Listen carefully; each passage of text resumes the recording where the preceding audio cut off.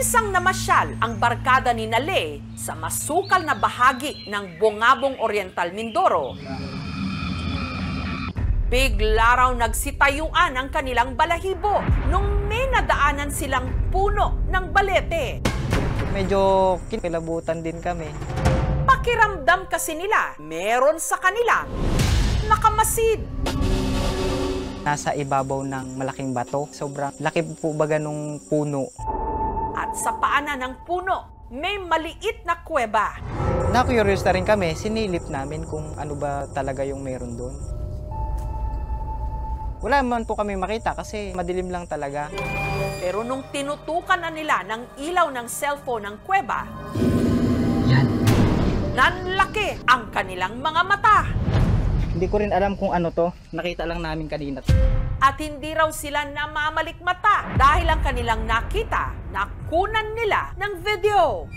Walang kukurap. Kanina kasi habang sinisilip namin, may nakita kaming ano, nagakislap ang mata. Habang nagbablog si Nalay, kapansin-pansing may parang dalawang kumikislap na liwanag. Ayun o, yun o, nandiyan pa o, yun o. Parang mga mata na tila sa kanila'y nakatitig. Nakatingin lang dito sa atin. Sinubukan nila itong batuhin. Bigla itong kumurap. Yan, nawala, nawala. Yun, kumurap, kumurap na. Isog na. Natakot ako. Hayaan na natin yan dyan. Ano o sino ang naka-eye to eye ng grupo? Pero meron kang makikita yun, may mata doon sa loob. Yun daw po ang nakatira doon. Babantay kasi daw marami daw kayamanan doon. Isog na.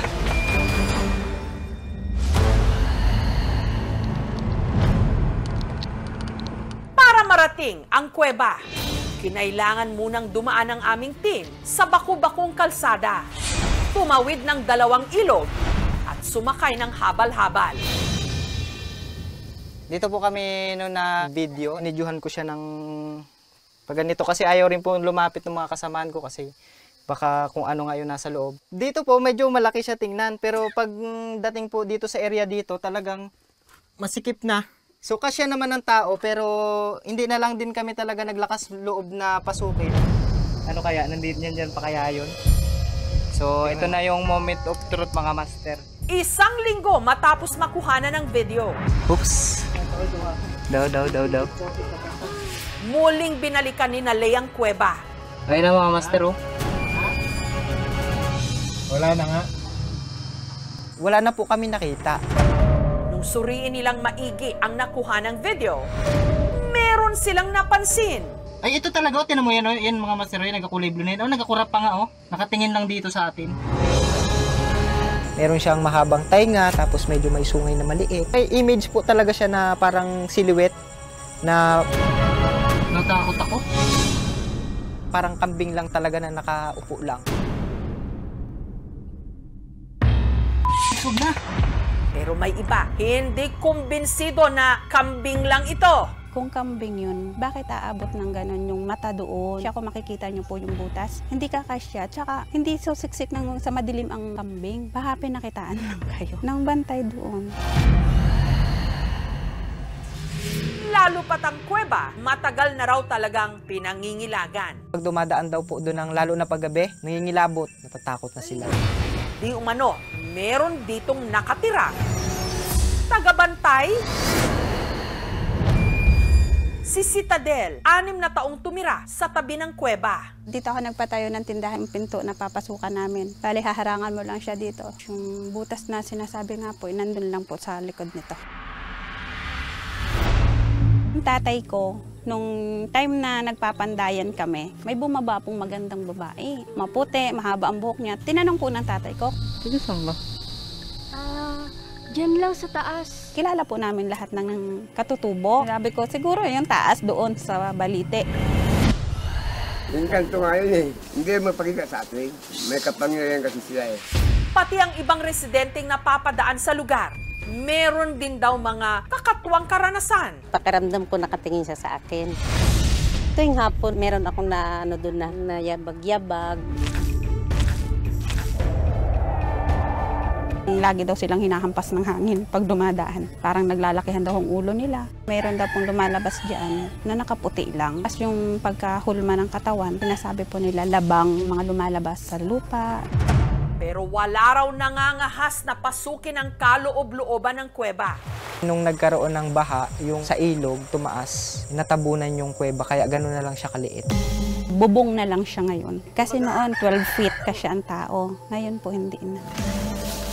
Ngunit may nakilala ang aming team na napasok daw ang kuweba bago pa man natabunan ng bukana nito. Yung pagpasok ko sa loob, una ko nakita.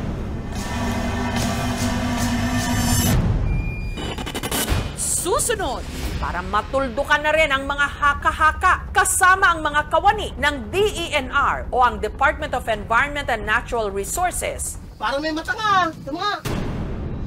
Sinubukang pasukin ng aming team ang kuweba. Ako na, mabulok eh.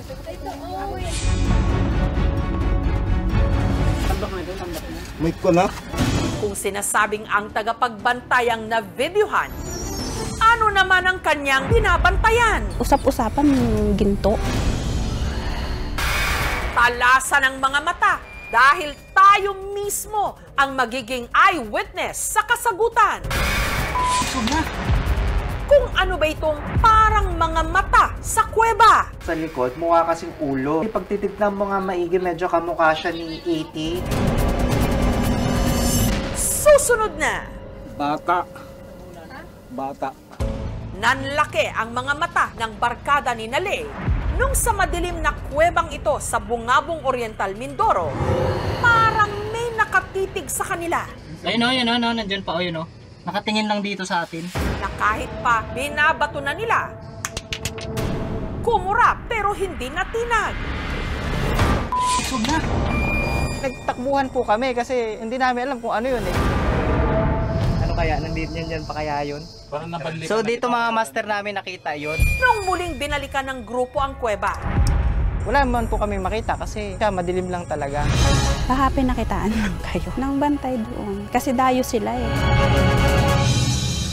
may matandang paniniwala kasi rito na may tinatawag na bantay ang kuweba. Pero ano ba ang binabantayan nito sa loob ng isang napakadilim na yungib?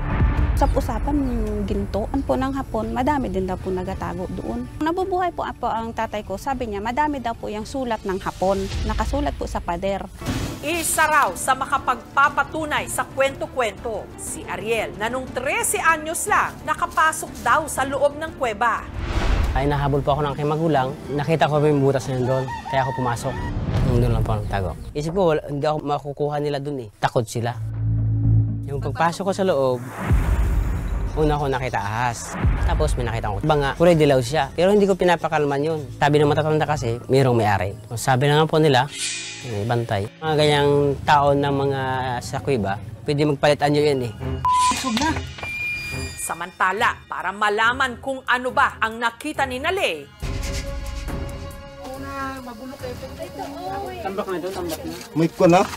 Bata. Bata. Anong bata? Bata ang pwede pumasok. Kasama ang mga kawani ng DNR, sinubukan ng aming team na pasukin ito. Yung kumakasama po kanina.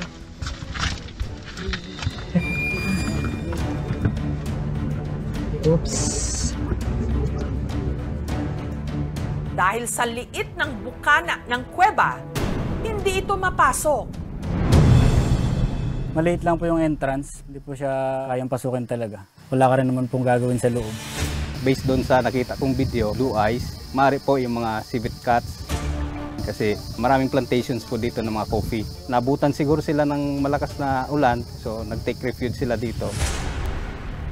Medyo nanginayang din po kasi syempre mas nakaka-excite sana kung mapapasok. Kaso kung hindi talaga kaya eh wala din naman kami magagawa. Ang video na nakuhanan ni Nale, ipinasuri ng aming team sa eksperto. Distance kasi ng dalawang bato na kumikislap, para kasi mata sa likod, mukha kasing ulo. Actually, pag titignan mo nga maigi, medyo kamukha siya ni E E.T.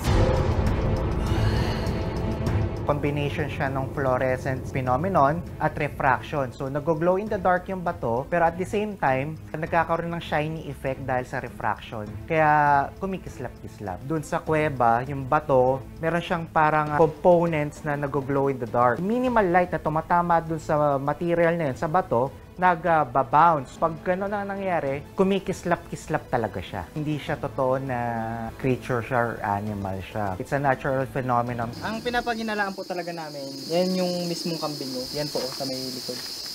Sa palibot nung kuweba, marami po talaga mga kambing na naggagala-gala. Kakaulan lang noon, nung time na pumunta kami dito. So possible talaga, pumasok yan doon, yung kambing na yan. Hinindigan talaga kami na yan talaga yung nakita namin. sinom namin yung video namin, siyang-siyang yan.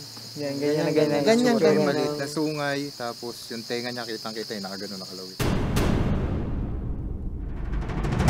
Nakita na parang bluish na possible yon is mata ng animal. May tinatawag tayo na tapetum lucidum or siya yung parang layer sa mata ng mga animals or parang night vision. So tumutulong siya mag-hunt para uh, maprotektahan nila yung uh, sarili nila during night naman. Location pa lang, possible uh, domesticated siya, pwedeng uh, dogs or cats hindi siya ganong nag-react. So possible yung animal mismo nakakakita na siya talaga ng human do sa area na yon. Pero yung sa goats, kasi titignan natin sa video, maliit masyado yung entrance. Hindi niya gusto yung sobrang dilim.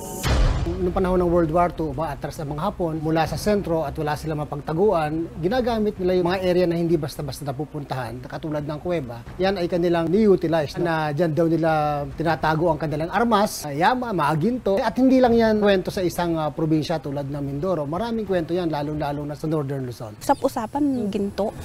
Ito ay isang global phenomena kung saan meron tayong fascination sa paghahanap ng mga nawawala. Naniniwala tayo sa mga urban legends, pat, ah, patungkol na rin sa mga treasures. Natakot ako. Kanya-kanya po tayo ng paniniwala eh. So ginagalang po namin yung paniniwala nyo and sana kung ano man yung opinion din namin dun sa na-experience namin ay igalang nyo na lang din po yung paniniwala namin. Sa dilim, merong mga nagmamasid. Nasa atin na lang kung may sapat tayong lakas ng loob upang atin itong harapin. Thank you for watching mga kapuso. Kung nagustuhan niyo po ang videong ito, subscribe na sa GMA Public Affairs YouTube channel and don't forget to hit the bell button for our latest updates.